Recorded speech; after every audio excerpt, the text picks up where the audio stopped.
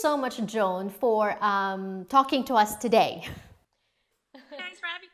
You're an accomplished actor and singer, um, but then you're also devoting your time at home, not just to be a mom, but also to be teacher to your son. But now it's even more timely because we're hearing the keywords homeschooling and distance learning.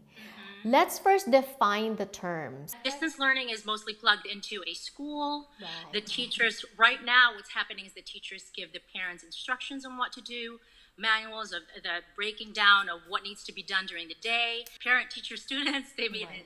um, through Zoom, uh, Skype, or right. whatever virtual thing is available. When you say homeschooling, and we go to a homeschooling convention every year since my son was four years old, when you're around homeschool parents, they're really and I, I don't say that regular uh, kids who go to regular school, the parents are not involved. Of course they are. But homeschool parents are just a different breed. It's like, okay, what's the, uh, it, they're after the character of the child. How does the child learn uh, how to deal with bullying when it happens? I think more and more parents now, especially, are appreciating how much work goes into homeschooling your own children. How did you get to that decision? Well, when I first heard about it, I was pregnant, and some, some, some mom, like it was actually a couple giving a speech somewhere about like they just kind of like said, "Oh yeah, we're homeschooling four kids." In my head, I was like, "My gosh, that sounds so ancient." Right. That's what they did back then. You know, like it's, it's like so foreign to me. Yeah. I didn't do anything until my son was born, and then we met a friend of ours. We visited them in um, Maryland, and again, their situation was they just moved to Maryland. They the school was really far from where they were. The wife was a homeschool uh, uh, was a, a, school teacher actually, elementary school teacher. She gave that up to homeschool three kids, mm-hmm. and um, and I just wanted to ask them about what curriculum they use. We and here's the part that really where it's doable for me. Um, first let me let me share with you the different types of homeschooling. Right because there's different methods yes. Yes you would not believe. It's it's really catered to what your child's needs are. It's not just here's a cookie cutter. I just want you to all that. And right science math reading and whatnot right? Okay. What we're doing is traditional education which actually is pretty much like in a classroom setting at home.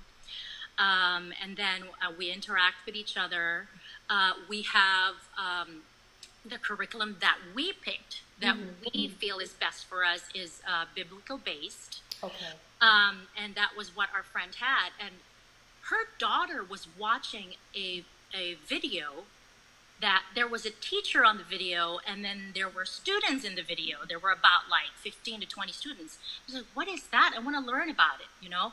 And her point was that she wants to be the on-site teacher to her kids, but at the same time, she wants to be able to do the chores at home and without the child miss, uh, missing a beat with like education or math. If they don't understand anything, they can go back to the, it was a video, a DVD. Right, right. I'm very interested in that, interested in that because as an actor, mm-hmm.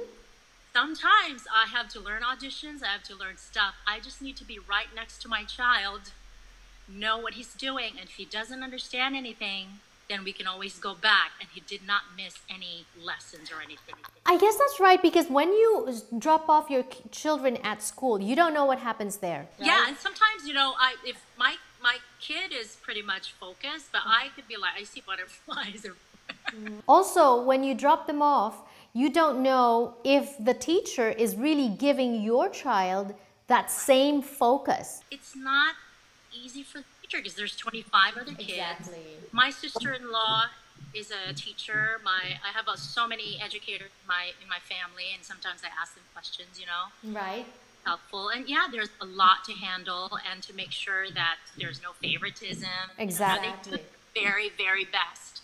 Right. You know, sure everyone understands. So now I'm seeing the rewards. One very special reward is, of course, you get to be present as your child develops and grow every minute almost right because you're always there correct are you correct? seeing it yes exactly, oh, exactly. my isn't it rewarding rewarding. It's, rewarding. And um, even myself, I knew how, what capabilities my child, Lily, she's four, had before this. But now that she's, she's with me 24 7, I'm like, wow, you can do that. Or, oh, you need help with this, right? Especially like when you spend time with your child, you, um, you make the time and you play with them. Play at that age. Play at that age. They're when you play with them, they're very confident in in having you as their as their playmate. Right, right. It opens them up. There's no fear, and then it builds confidence. Exactly. And so just getting all these things, it's very encouraging. Um, and maybe there may be some parents out there that might not go back to traditional school after this because you know you're getting a taste of it. Um, with, with, the rewards, I know it comes challenges, how to schedule, how to balance everything. But in, in your experience, what would you tell parents right now who are watching? If there's one message that you want to impart to them, what is it? First of all, it, it's it's it's different for certain ages, right? And and my experience was I would be at a park and I would overhear parents talking about, oh my gosh, my child can't read and she's already four years old, and I'm like, she's only four. Take your time. Right, you right. Just be very patient with them. Mm-hmm. You know, there's already a lot of stress outside. The especially uh, during this time. Yeah, yes. exactly. And um, in terms of reward, I really like. I don't know of all people. I'm kind of all over the place. But when it comes to homeschooling, the curriculum that we picked, uh, there's a uh, there's a lesson plan uh, beginning of the school year, we get three boxes of all the schools and everything. All I need to do is just follow the instructions. Mm-hmm. It's kind of like distance learning, but we're at our own pace. In fact, we have a choice if we want to finish for uh, within six months, nine months, or 12 months. Okay.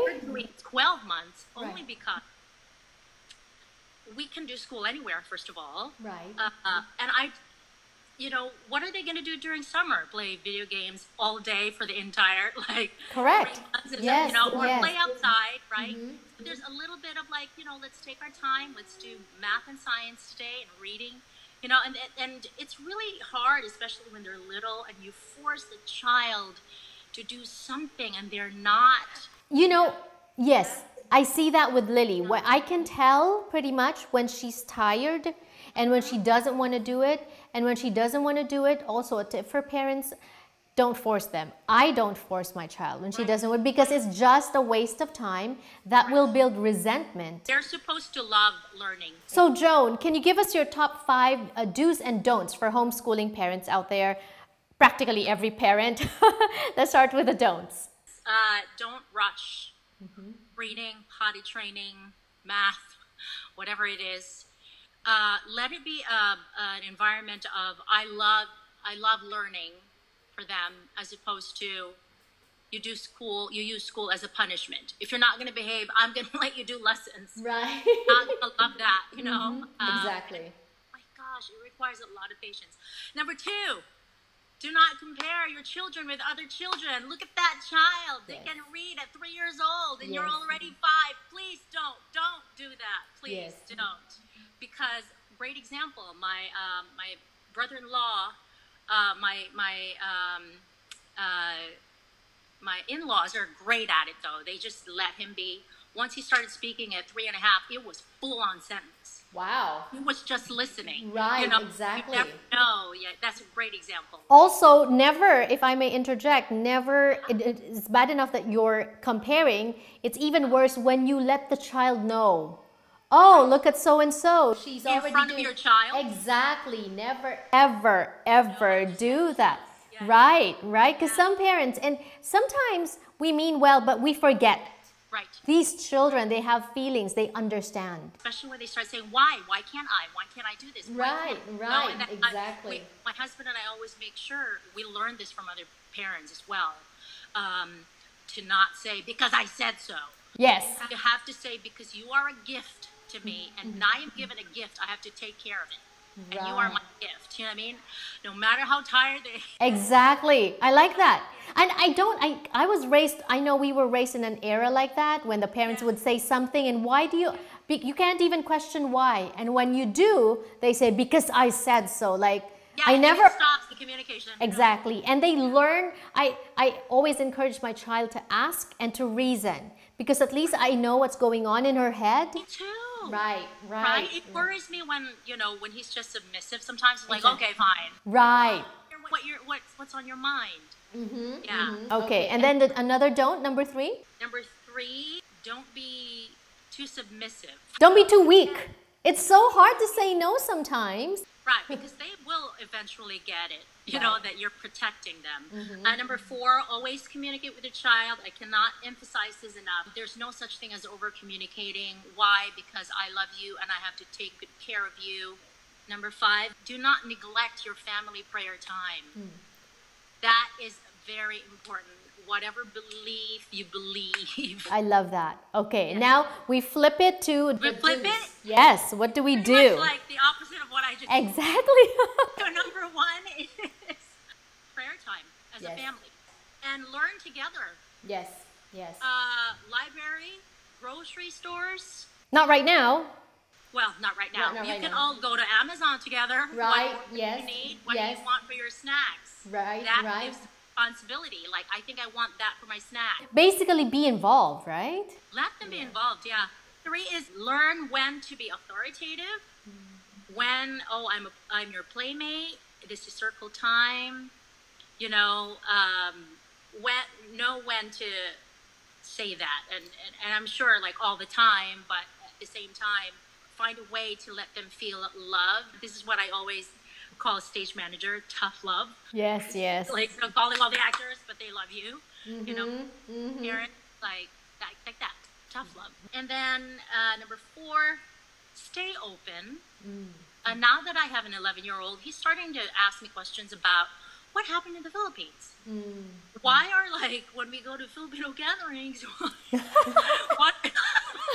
What it's is- like, what I'm is- forced to eat something I don't want to eat. Right, right, right, Like yeah, that. And yeah. I tell them, you know, you actually make them feel good because they had you in mind. When they were preparing, yes. You're eating it. Right, You know, you made them feel special. And number five is we love to spend time together. My son now, um, we love to make him feel that, like, you know, that he it, that what he does at home matters to us.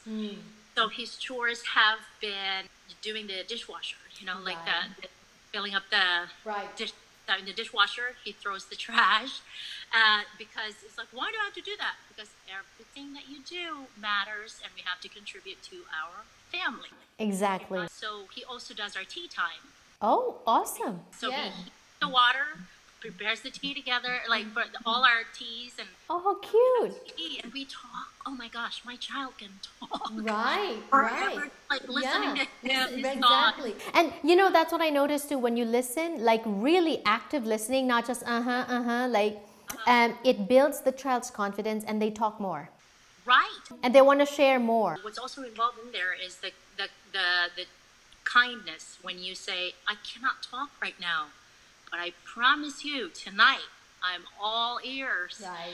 You know? And they're Right. like, they never stop talking. Exactly. Well, Joan, thank you so much. I think this has been most helpful. Those really interested, you know, uh, or, or, or are on the fence about homeschooling. Yeah. You can do it, moms. you can do it. I'm still here. Right. All right. Well, thank you so much for now. Stay safe. Yes, it's been such a pleasure. Thank you.